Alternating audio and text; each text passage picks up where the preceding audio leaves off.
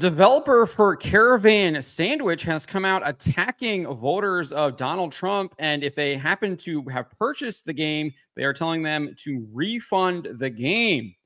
I wrote this up over at fandompulse.com. You can find the link in the description below. You will find much of my writing over here moving forward. Uh, so I encourage you to subscribe, become a paid member, and help us uh, get this excellent stuff out to you. So, developer of Caravan SandWitch attacked Donald Trump voters, saying if you voted for the president, that you're a piece of crap. Furthermore, the developer instructed Donald Trump voters to refund the game if they had previously purchased it. It all started right here. There we go. You should definitely subscribe. In a post to X, Caravan SandWitch initially reacted to the election of Donald Trump, writing, Stay strong, friends. Seems pretty innocuous. Obviously, a little video of a storm here. Uh, you can get the implications for that. And uh, Dread Roberts, uh, fellow friend of the channel here, he responded saying, If I ever become a game dev, one thing I'll never do is use my platform to cry about a political candidate winning an election. Unprofessional behavior and a quick way to push customers away. So I actually thought the post was kind of innocuous. Can read into it. Obviously, um, Dread Roberts is saying that they're crying about the, the political candidate winning, etc. Uh, and uh, seemingly they were because they completely melted down here uh, in response. So this is how Caravan SandWitch responded. Well, I sure hope you never become a game dev. I don't care what you think being professional is. My friends are losing their rights. This is not a game. Uh, completely unhinged and unprofessional behavior.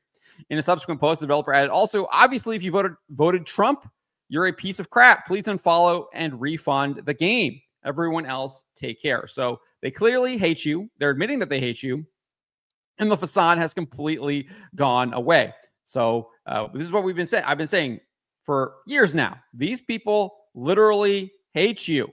You should not be giving money to people that hate you. So I think if you are if you if you vote for Donald Trump, you purchase this game, get the refund. Get the refund uh, as soon as possible, no matter how much you might have enjoyed this game, because there is no reason giving money to people that hate you. There are probably lots of other alternatives that you can find, find, find, or even play in your back catalog that you haven't maybe looked at in a while. So uh, easy, easy thing to do here, and they're actually telling you to do it.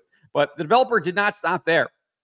We had this person right here, Robbie Cooper, responded saying, actually enjoyed this game, but being a piece of crap over an election is not right. I'll be sure to delete my content and rate the game appropriately. Now, I hope he actually gets a refund too.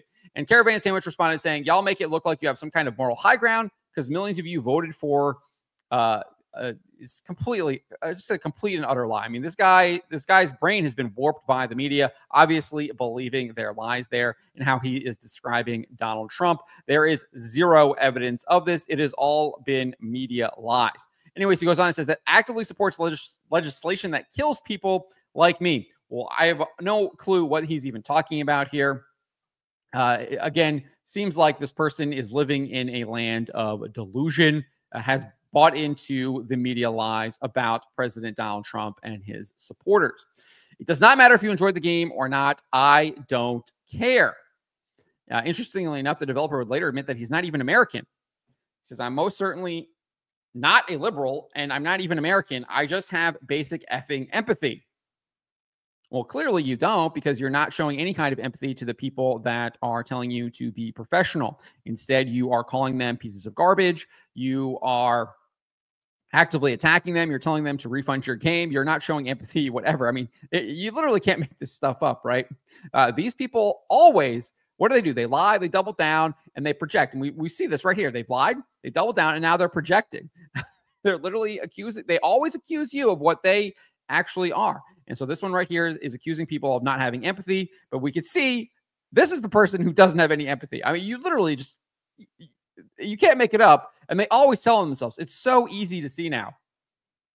If you like the game but voted Trump, you've completely missed the point. Like, how can I make it more obvious?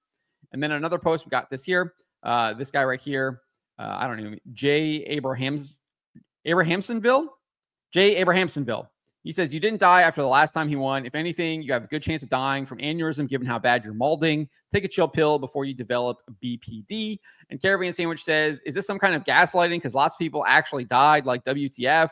I didn't die, but also I'm in Europe. So uh, not only not an American, but is over there in Europe. And uh, sure, people did die. It was during COVID. No one died from uh, Trump's policies. I think a lot of people actually uh, survived because of those policies, especially with the border. You you stopped having people doing these like mass marches that they were having coming up from Central America, where they were literally being violently attacked, and lots of people were being killed during that. Uh, and he put a stop to a lot of those. So he probably saved a lot of lives. That he obviously saved millions of lives with his Roe v. Wade uh, Supreme Court uh, appointees and them overturning Roe v. Wade saved millions of people's lives. So again, they always are projecting uh, what what what what's happening here, and this is just another lie, though, right? Uh, because he saved more people's lives than ended up dying, and obviously COVID was kind of out of his hands a little bit. I do think he probably needed to be a little better on that. Trusted the bureaucrats and the quote unquote experts a little too much. Uh, hopefully, he has learned from that and uh, will address that uh, moving forward as well. But this is Caravan SandWitch. Uh, obviously, they hate you. They are making it clear that they hate you, and they are giving you clear instructions on uh, what you should do if you happen to have purchased their game and uh, even enjoyed it. You should uh, immediately refund the game and and move on because you shouldn't be buying things from people that hate you. Uh, but those are my thoughts on this. Let me know what you guys make of this. What do you make? of a Caravan SandWitch here attacking people who voted for Donald Trump and uh, instructing them to refund the game. Uh, usually, this does not work out because people do indeed uh, take them up on their advice.